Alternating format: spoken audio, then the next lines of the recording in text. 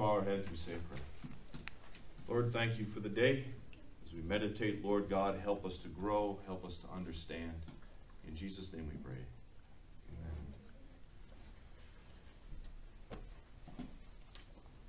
Amen. It, uh, it's a neat thing, not just as a father, not just as a pastor, but as a Christian, to see a young person willing to stand up and say, I believe in Jesus. I want to follow Jesus. I want to be a part of God's family and, and, and, and, to be a part of the kingdom work that is going on. It's a reason, it's a reason to rejoice. And, you know, I say to my girl, good job. Right? Good job. She worked hard. She learned all that stuff. She sat up here in front and was terrified. She did it. Good job. And I say, I like to pat myself on the back. Good dad. But you and I know very well that underneath and behind it all is something greater. It is the Lord God Almighty. And it's right to say, good job, Rachel, and it's right for my wife and I to feel very proud of, of, of what God, of what happens here today. But it is first and foremost the work of the Almighty God, is it not? Amen. Amen. Underneath and behind it all, God claimed my little daughter's heart.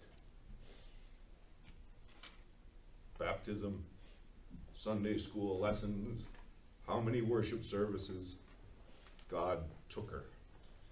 And he said, This is mine. And so today, more than anything, is a reason to give thanks to the Almighty God. And it's true not just on Confirmation Day, but anytime something good happens. Yes, maybe good happened through us. Maybe something good happened, blessings happened because of what happened in our lives, and it's a wonderful thing, and we worked hard, and yes, I should be proud of it but to step back and to remember that underneath and behind all good things, who is at work? The Almighty God. And to remember to stop and give thanks to God for the good things that happen. And you and I know this, but we're going to talk about it today anyway. That when good things happen in our lives, to step back and to say, Thank you, Lord, for what you have done. And on top of it, even to learn to say, Thank you, God, when things don't look so great. We've been going through the Psalms and looking at what the Psalms tell us and what the Psalms teach us. This is the Old Testament prayer book, the Old Testament songbook, hymnal. The Old Testament believers had these different Psalms that they would pull out in different occasions, and we're looking at how they prayed and how they dealt with and how they sang about these different issues. Talked about what do I what do I sing, what do I pray when uh, when my enemies attack me? What do I sing? What do I pray when when life looks scary or when I don't know what to do? And today what do I sing? What do I pray when I'm thankful? Or maybe, how do I learn to be thankful even when things don't look so thankful? With me? So, Psalm 100 is printed for you there. I'm not going to read it responsibly. I thought about it, but I changed my mind. We're going to read the first three verses. I'll read the first three verses and then we'll pick up the last two. Shout for joy to the Lord, all the earth. Worship the Lord with gladness. Come before him with joyful songs. Know that the Lord is God. It is he who made us. We are his. We are his people, the sheep of his pasture. The picture there, that there's a title. You don't. I didn't print that for you, but there's a title that says "For giving thanks." It's an odd, odd little phrase there. It really refers to the Old Testament uh, sacrifice, uh, fellowship or peace sacrifice, the shalom sacrifice. It's the one that they would bring up when something good happened. It was when they, when they had a, a child was born, they would go up to the temple and they would offer a sacrifice. When they would get married, they would go up to the temple and they would offer a sacrifice. When they had a especially good crop, they would go up to the temple and they would offer this shalom sacrifice, this peace giving thanks and they had to eat the whole meal. Nobody could leave until it was all gone. Yeah, so it was kind of a neat thing, neat picture. We're going to sit here and enjoy each other's company until everything is done, even if it takes us all day. And that's the picture here. So maybe this was the song, maybe this was the prayer that they prayed when they would have something good happen and they would go up to the temple and they would offer this sacrifice, maybe this was the prayer that they prayed. And the first part of that, you imagine the, the husband who just found a wife or the father who just had a child turning to everyone who's there and he's saying, he says to them, Shout for joy to the Lord, all the earth. Worship the Lord. Come on, worship the Lord with me. We do that, right? Something good happens in our life, and we naturally want people to come and what?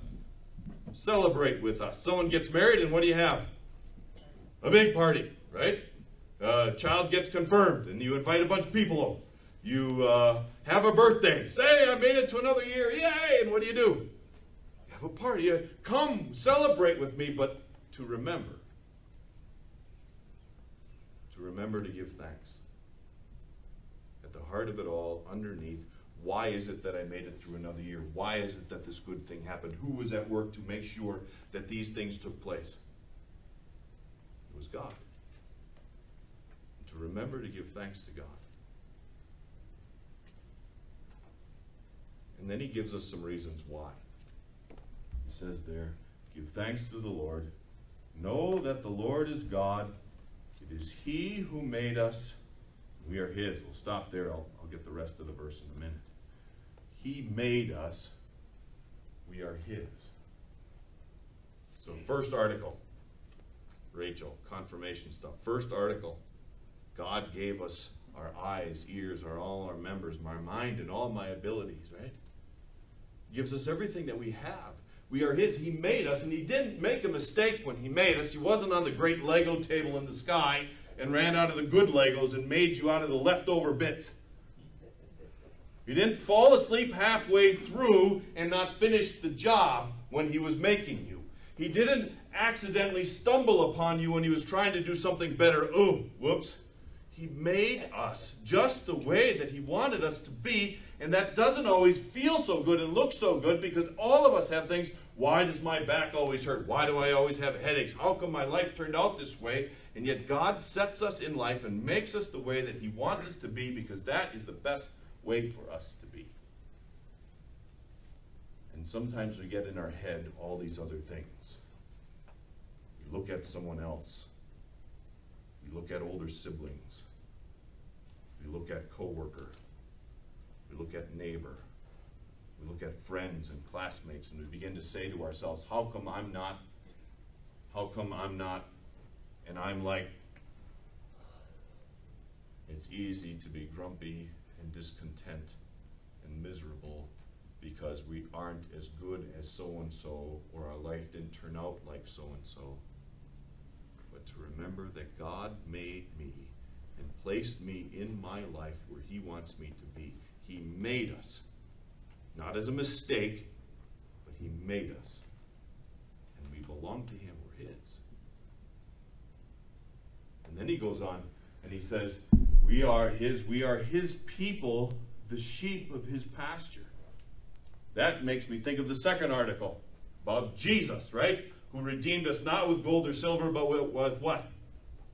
His holy, precious blood and His innocent suffering and death. I was a sheep, go astray. I don't do the things I'm supposed to do. I don't think the things I'm supposed to think. I don't behave the way I'm supposed to behave. I have bad attitudes and lousy thoughts and, and terrible things that happen in my and sometimes I do them. Sometimes I resist, but I still think about it. I hold grudges in my heart and I don't treat people the way that I should. I'm a sheep that has gone astray. But notice what it says there. We are his people, the sheep of his pasture. He went out by his blood on the cross on the cross and won our salvation for us. Claimed us back as his sheep, made us his own by washing away all of our sins. And as his sheep, what do we know that God is going to do? He's going to love us. He's going to take care of us. He's going to feed us. He's going to lead us to still waters, quiet pastures. And it makes me think of your confirmation verse. Exodus 14 14. God will fight for you. You need only be still. You're his sheep. I don't need to fuss. I don't need to fight. I don't need to worry. I don't need to be afraid. Because what does God promise as his sheep? He promises that he will protect, And all I need to do is wait for the good shepherd to, to protect me, his sheep. I am his sheep, and he will always take care of me. Reasons to be thankful even when things in life don't seem so thankful. You with me? He made me. He put me here. I belong to him. He didn't make a mistake when he made me. And then he redeemed me, and he will always take care of me, and he's prepared a place for me in heaven. I have reasons to be thankful even when life kind of stinks. And then it's almost like he says, like the, the, the guy who's praying the prayer or, or singing the song, he says, All right, now let's make this official. He says, We're going to go into the king's court. I want all of you to celebrate with me because of this good thing that happened. Now let's go up into the king's court and we're going to celebrate officially, so to speak. Enter his gates with thanksgiving and his courts with praise. Give thanks to him and praise his name. Why? For the Lord is good, and his love endures for a little while, forever. His faithfulness continues for a few years through all generations. Forever. Through all generations. The promises that God makes to each one of us, the promises that God makes to you, Rachel, are not ones that disappear after a few years. There isn't an expiration date. After, after 24 hours, you can't use it anymore. It lasts for a lifetime. A lifetime. Makes me think of the little phrase that we like to throw back and forth as a congregation. It lasts forever. God's love, God's faithfulness, God's goodness. God is good All the time. and that will never change. And even when my life is in chaos or my life doesn't seem to be going so well, God is still good. And God is still faithful. And God's promises hold true. And I am still his sheep. And I am still his child. Being thankful. Recognize that every good thing that happens comes from the Lord God Almighty. That every good thing that happens in my life is a reason for me to stop and to remember to be thankful to the Lord God for what he has done. But even when things aren't so great, to remember that the greater things, the promises of God, the salvation of God, never fades, can never be taken away. To be thankful even for that. Problem is, we forget that, don't we? Life gets busy, life gets hard things happen and we, we, we forget sometimes that God really is always faithful and is always with us. And so we need that constant reminder. We need to constantly be reminded by the Word of God that God is faithful all the time, that God is good all the time, that I am forgiven in Jesus Christ. The other day I went in and Rachel wanted to paint her room. And so we started to paint her room and we moved the dresser and there was this whole wall of sticky notes behind the dresser on the wall. I think she was a little shocked. She didn't want me to look at them too closely. I think these were notes to herself, right? But I remember one of them. I won't share all of them because I think she'd be embarrassed, but I saw one. Makes you cry as a daddy, makes you cry as a pastor. One of those sticky notes said, read the whole Bible. We need that To read it. Not just in church, but to read it. Because world circumstances, sinful nature will tell us that God is not with you, God does not love you, but it isn't true. Life will tell you that you have a reason to be discontent, dissatisfied, unthankful. It's not true. You and I, who are God's sheep, have every reason, even on the worst of days, to give thanks to the Lord call upon the Lord. Be thankful to Him because He has done so much for Jesus' sake.